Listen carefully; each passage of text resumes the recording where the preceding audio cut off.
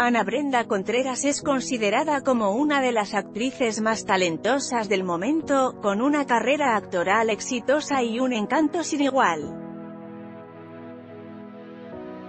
A lo largo de los años, la actriz ha protagonizado polémicos amores dentro y fuera de la pantalla de televisión mexicana.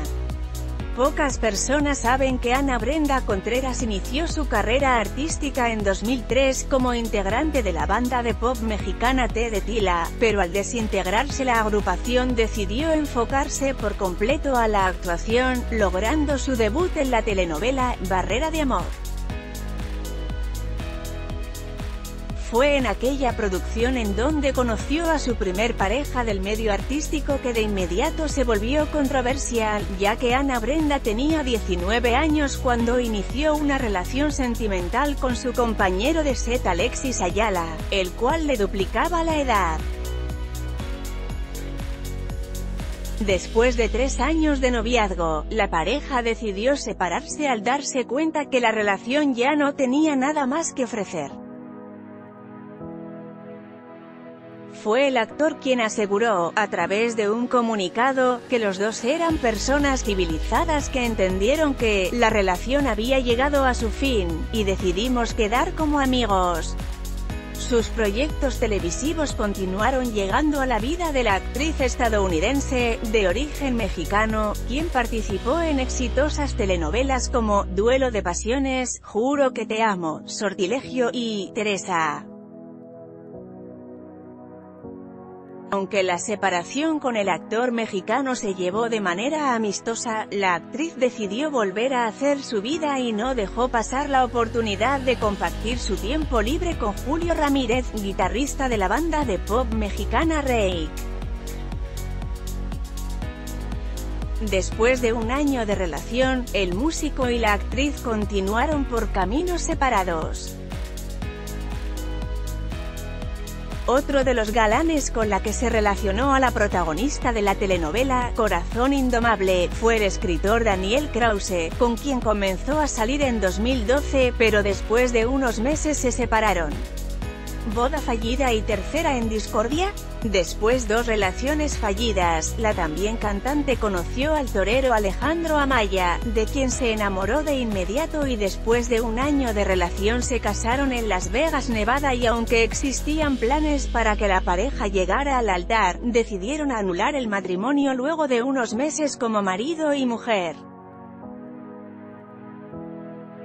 En 2015, Ana Brenda volvió a protagonizar una nueva polémica relacionada a su vida amorosa, y es que, después ser elegida como protagonista de la telenovela Lo Imperdonable, en la que compartió créditos con el actor español Iván Sánchez, comenzaron a circular los rumores de que mantenía un romance con su coprotagonista, quien recién había llegado a la capital mexicana para formar parte del proyecto de Televisa después de saltar a la fama en La Reina del Sur. Fue en esa producción en donde los actores hicieron clic pero existía un problema, él estaba casado desde hace más de 10 años con la actriz española Elia Galera con quien había procreado a sus dos hijas. Los rumores que aseguraban llegaron a oídos de la esposa de Iván Sánchez y fue ella quien confirmó que la relación entre los dos había terminado definitivamente al firmar el divorcio.